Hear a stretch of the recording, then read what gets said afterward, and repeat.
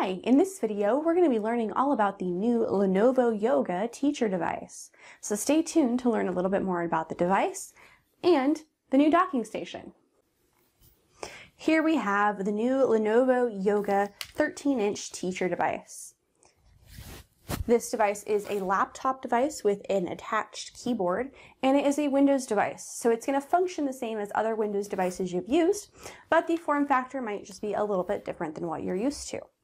This device is a two-in-one device, so it is going to be able to flip around to tablet mode.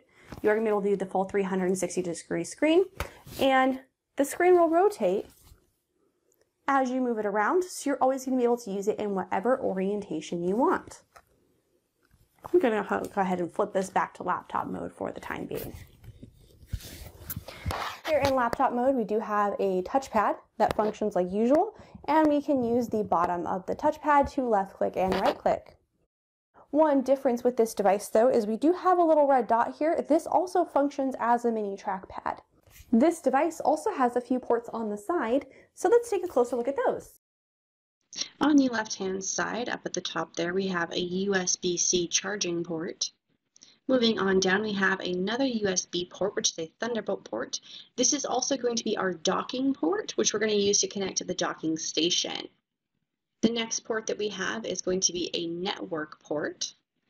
Moving further down, we have a USB port and a headphone jack. Moving over to the right hand side, starting at the top, we have an HDMI port, which is going to allow you to connect to a TV or another external display. We have another USB port for a total of two.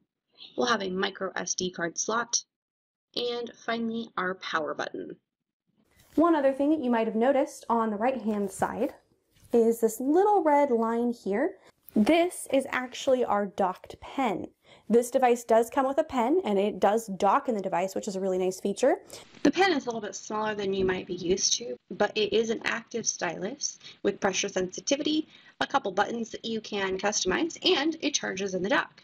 We'll learn a little bit more about the pen a little bit later. When you open up the device, you will see that you have a webcam here. Go ahead and bring that nice and close. This webcam does have a privacy slider. It's just a little slider here. You can go ahead and slide that and now your webcam is being blocked. You open that up, now your webcam is active. This doesn't block software from using your webcam. However, when you have it blocked like this in this red mode with the dot, that means the camera will only see a black feed. It won't see your actual face. And then when you slide that open, the camera will be able to see you or whatever it's facing. I also want to just take a closer look at that keyboard. Again, we have that red trackpad dot. You can just move your finger along that and that will allow you to use the trackpad and you do have your left click and right click buttons, as well as a more formal trackpad that behaves like you would expect. One other thing to be aware of on the keyboard is your control key and your function key have been switched. So you just need to be mindful of that when you're using your control shortcuts. It's not the very last key, it's just one over. In addition to the new device, we're also going to get a new docking station. Your technician should have set your docking station up for you, and it should look something like this. We'll already have a few things plugged in here depending on our configuration. Uh, for example, we do have this power cord here that goes directly to the wall, so this docking station gets powered. And we're going to have a display port or two plugged into our monitor. This item here is a USB-C cord, and this is going to actually connect to our device. I have some additional slots that I can learn about. These next two slots here, we have an HDMI port for connecting to a TV, as well as another external display port for connecting to a second monitor if we choose.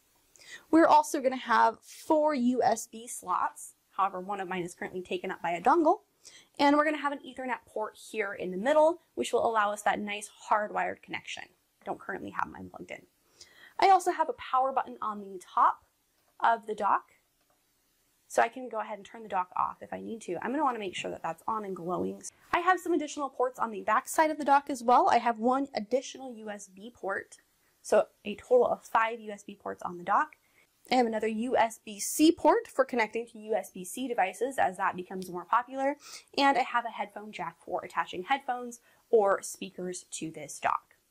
This dock is going to function very similarly to the Surface dock or any other dock I might have used in that it's going to allow me to connect my teacher device to my peripherals. In this example here, my external monitor, my keyboard, and my mouse. I'm just going to take that USB-C cord that's plugged in at the very end here, find that USB-C end here, and go ahead and plug that into the corresponding USB-C port on the left side of my device. Remember to plug that cable into the second port there, the docking port, for best results. Go ahead and wake my device up, and my light should turn white here, letting me know that I am connected. And now I can use my keyboard to sign in.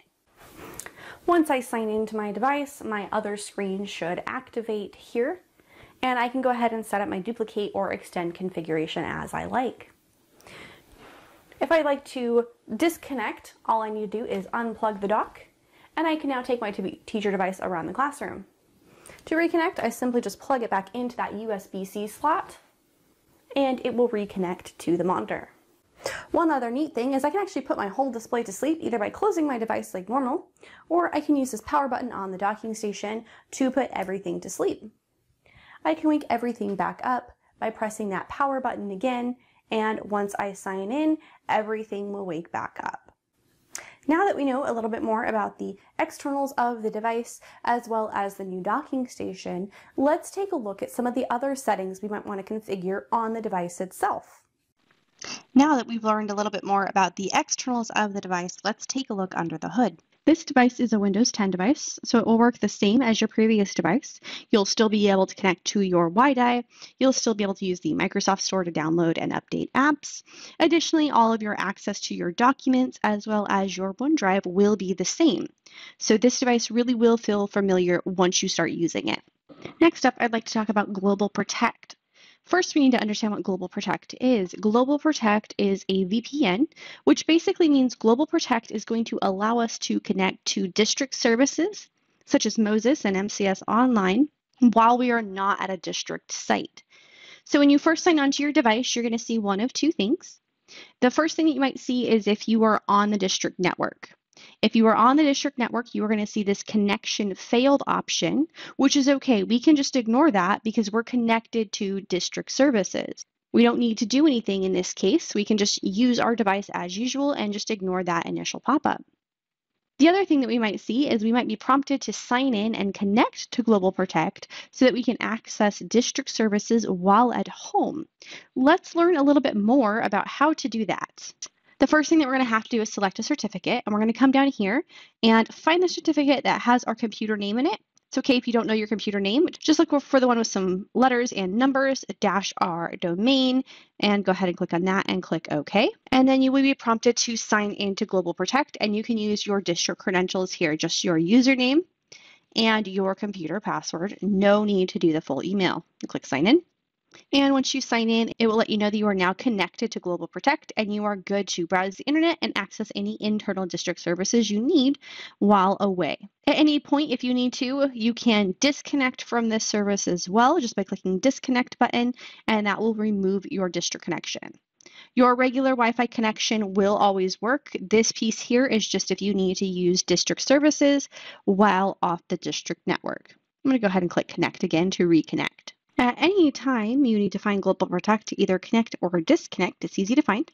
Just come down here in the taskbar, click the up arrow, and click on the globe icon for Global Protect to open this dashboard back up and connect or disconnect as needed. A couple things to know, if you are working remotely or you are doing some work from home, you will need to make sure to sign into this each time you sign into your device. Again, just pick the certificate from the drop down and sign in with your credentials. Let's learn a little bit more about our device. As we talked about already, you do have an active pen that comes with this device, and as such, you can customize that pen a little bit more. So let's take a look. If I open up my Start menu here, I'm going to want to look for an app called Lenovo Pen Settings. In this case here, I don't have it installed, so I'm going to open up the Microsoft Store and install it myself. To come up here and search for Lenovo Pen Settings. And I do want this red app here called Lenovo Pen Settings. Once I click on this app, I can click Get or Install, depending on my prompt here. And if it asks me to sign in, I can actually just close this out and the installation process should start. Once this finishes installing, we can open up the app to do a little bit more customization. This finished installing, so I'm going to go ahead and close this out. Come into my Start menu and look for Lenovo Pen Settings in the Ls to open up the app. Once the app is open, I do get some information here. I can see my current pen battery up at the top. One thing I'd like you to know is this pen does have enough battery for just about two hours. However, if you pop it in the garage for 15 seconds, you will get an 80% charge with five minutes giving you a full charge. Moving over here, we can customize our buttons. As you can see here, I have my top barrel button customized to right click when I hold that button and tap on the screen, and the bottom barrel button when I press and hold that on the screen, that is an erase. I can click this menu here, and I do get a lot of other prompts that I can customize these buttons with. Again, these buttons work on a press and hold functionality, and then I tap the screen to activate whatever setting I set. Here, I'm going to leave this as right click and erase. The next setting I can change here is whether or not I want to see my battery in the taskbar. And that just gives me a second battery icon down here, letting me know the status of my pen battery. Finally, I can adjust the pen tip sensitivity, making it a little bit less sensitive or a little bit more sensitive depending on my needs. I'm going to leave mine right in the middle. Once I have all this set up here, I can go ahead and close out and those settings are automatically saved. And I should now have this battery icon down here at the bottom letting me know how full my battery is. If at any point that does disappear, it might have moved into this little up arrow here and I can check out the pen battery there. Thank you for watching this video all about the new teacher device. Hopefully you are now equipped to get started with your new device and thank you for watching.